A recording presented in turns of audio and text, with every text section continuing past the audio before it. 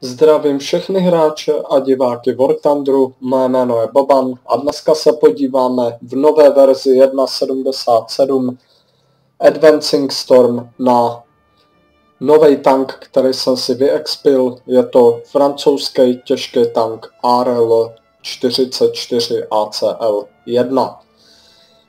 Je to sice těžký tank, ale já osobně bych řekl, že je to spíš těžký tank s hodnotama středního tanku, kdy ten pancíř opravdu není eh, v té kategorii toho těžkého tanku. Ale neříkám zase, že byste nedokázali odrazit, to je blbost.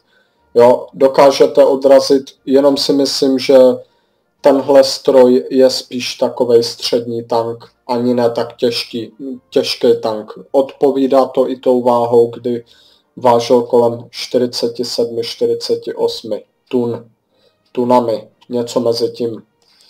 Co se týče jeho historie, celkově tohoto stroje, tak uh, je to tatínek stroje ARL 44, který vidíte tady. Ten vám hnedka ukážu. To je on. A jedná se vlastně o prototypovou verzi, kdy eh, byla jiná věž a jiný kanon. Ta jiná věž byla typu ACL 1, odtud, odtud je ten název, a měl jiný kanon a údajně americký, podle mě vyráběný v licenci a je označovaný jako SA44 ráže 75 mm. Co se týče uh, jako porovnání uh, s klasickým Arolo 44, tedy tou sériovou výrobou, tak ten měl, uh, ten se nelišil extra nějak, ten měl tuším 90 mm dělo. Já se na to hnedka kouknu. Ano, měl 90 mm kanon a měl především, když se na ně koukneme ještě jednou, tak měl novou věž, která byla od firmy Schneider. To je asi všechno. Když tak k tomuhle vozítku, až ho budu mít, tak řeknu eh, víc informací. Teď o něm říkat nic moc nebudu. Vrátím se tady zpátky tomuto stroji a co se týče teda eh, tohoto stroje, tak eh, vyjel na svět až v březnu roku 1946, kdy vlastně celý program těžkých tanků stagnoval díky vlastně okupaci Francie Německem. Ovšem, když eh, Francie v roce 1944 byla, byla zpátky vrácena spojencama do vlastních rukou, tak samozřejmě eh, ten vývoj těch těžkých tanků byl znovu obnoven.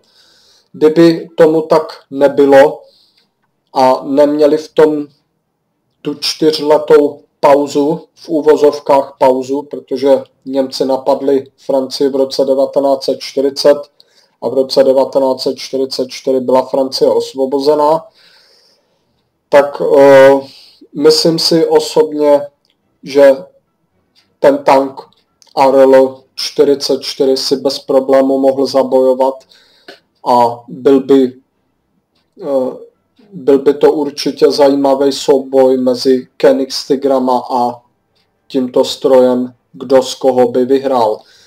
Eh, musím podotknout, že celá série Arlo se inspirovala tanky, jako byly Panther a jako byly tedy Kenix Tiger a částečně i tedy jak Panther, eh, zejména kvůli tomu šikmému pancéřování. Jinak co se týče motorizace, tak motor to vás možná překvapí. Eh, Frantík, nefrantík má německý motor, protože Francie v té době se eh, podotýkala s jedním problémem a to bylo ten, že nevlastnila žádný výkonnější motor francouzský, který by do toho do tohoto stroje mohla narvat, tak uh, uvolila uh, vlastně uh, k jinému motoru a vzali si teda motor eh, z Pantera a je to teda motor 12 válec benzínový Maybach HL 230. Já teda uh, to nebudu nějak zdržovat, to jenom krát, v krátkosti o tomhle stroji. Ono, když je to prototyp, tak se moc o těch strojích říct ani nedá. Každopádně uh, ten stroj mě prostě sedí. Já si nemůžu pomoct, uvidíte sami v té bitvě. Mě opravdu sedl, co se týče stylu jízdy a především teda Eh, toho kanonu, který na svým BR je naprosto brutální. Já to teda nebudu zdržovat a mrkneme se na ten replay. Je to teda mapa Polsko. Hezky jsem se tam zabojoval. Jinak co se týče té tý nové aktualizace, tak uh, můžu říct, že paráda, jo. Ty efekty, uh, ukážu vám jeden efekt, který se mi povedl udělat. Já jsem si ho všiml v bitvě, doufám, že se zobrazí tady, ale to musím být u kostela, kdy jsem najel do vody a udělalo se tam takový, respektive do vody, do kaluže. A udělalo se v té kaluži takový to realistický vlnkování. Bylo to, bylo to fakt hodně pěkný a efektní. Já to teda dám do pohledu hráče a přeju příjemnou zábavu. Takže já jedu směrem vlastně na hlavní uličku mezi Bčkem a Ačkem, kde si chvíli stoupnu před eh, vlastně před tu uličku. Uvidíte kde. Nejsou jediné, které tam stojí. Ale uh, musím říct, že co se týče tohoto stroje určitě jsem se nesnažil s ním nějak jako kempit extra, jo, to opravdu ne. Pro vás je hodně velká výhoda ta mobilita. Máte těžký tank, ale pohyblivost středního tanku, což je teda pěkný. A není pravda, že eh, je tento tank nějaký špatný. Určitě dokážete od, jakoby odrazit hodně, hodně střel. Tamhle vidíme Cromwella MK1, to krásně zasáhnu, úplně jako bájově. Takže jsem ho zasáhl. No chlapík se tuším otočí, jenže vystaví bok a to je problém, protože já jsem mu vyndal teďka motor. A tím pádem už se nemůže uhasit. Tak, nádhera, teď jsem ho zapálil a vyndal jsem mu střelce ten určitě nebude rád. Vidíte, že odrážím. Což je pěkný. Tak, oni dali mlhu trapáci, ale vidíte, že Cromwella mám uh, zaměřovači, takže uh, vůbec s tím nehýbu a prostě ho vyndám i přes tu mlhu. Ono ta mlha, pokud ho máte v zaměřovači, ten tank, tak mlha vám nepomůže. Respektive jemu nepomůže. Je to zbytečný dávat tu mlhu, protože pokud jsou na ně zaměřený, tak ho trefím tak jako tak. Takže teď půjdu asi do letadla, jak tak pozoruju. Nevím, nevím jistě, kdy. Ale vím, že jednou jsem tam do letadla šel. E, tamhle na mě střílí T-3476. Jinak ten stroj je opravdu dobrý. Já jsem měl jednu bitvu, teď se nespomenu, jak se jmenuje ta mise, nebo ta mapa, ale nalítli tam na mě dva M6 Dreadnoughty, dva byly, a ještě jeden Panzer trojka. Co jsem udělal já, prvně jsem vyndal tu Panzer trojku, aby mě neobtěžovala, protože ta byla nejlehčí na, na zabití, takže tu jsem vyndal na jeden zásah. Tomu uh, jednomu Dreadnoughtovi na mě agresivně najel, tomu jsem vyndal řidiče, on má vlastně takový to boční, vepředu to boční plátování skosený, jako má Ferdinand na korbě. Takže jsem ho tam trefil, vyřadil jsem mu uh, střelce, řidiče, velitele a nabíječe, zbyl mu jeden osádkář. No, teď jsem teda byl trefený z boku, ale já si zalezu. No a e, toho druhého Dreadnoughta jsem zasáhl do toho samého místa, akorát vlastně z pravé strany mýho pohledu. To jsem mu taky něco udělal, dal jsem mu řidiče, nabíječe a velitele. No, ten se tam opravoval. No, mezi tím jsem vystřelil do toho eh, dalšího, kterýmu jsem do toho prvního, toho jsem teda vyndal, tomu jsem, ten už měl jenom dva osádkáře. No, dobil jsem, mezi tím na mě vystřelil ten Dreadnought, který ještě žil, ale ten už uh, jakoby asi nezaměřil pořádně, ne, ta střela se odrazila a tím pádem já jsem měl výhodu v tom, že znova nabíjel a na tu další ranu jsem ho vyndal. Což teda je perfektní. Teď mám teda jednu asistenci.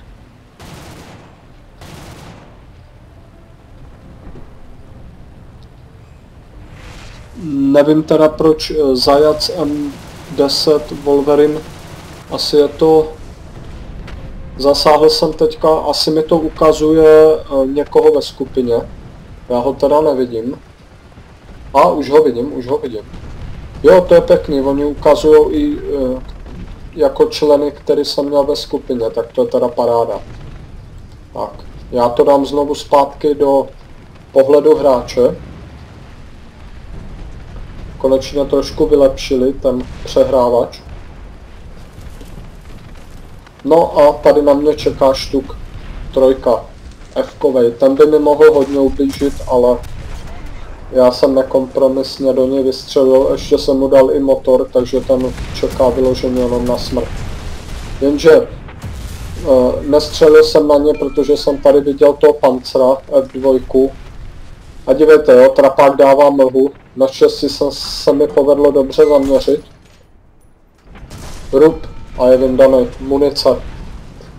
Takže to je můj druhý kill. Zatím mám dvě asistence a dva killy obsazuju bod, což je pěkný. To mi dá hodně bodíků, na tenhle stroj mám talisman, takže paráda. Obsadíme bod. Já jsem si hodně hlídal eh, jednu stranu, a to byla strana u uh, Ačka, protože za mnou byl, no, teď to uvidíte, uh, za mnou bylo nějaký tuším, že to bylo na to nebo něco, to by mě zezadu vyndalo úplně v pohodě. A dívejte na tu louži, jo, jak to krásně udělalo tu vonku, to je to, o čem jsem mluvil. Je to velice, velice pěkný. Ty efekty se mi fakt líbí. To klobouk dolů a jede mi to dobře.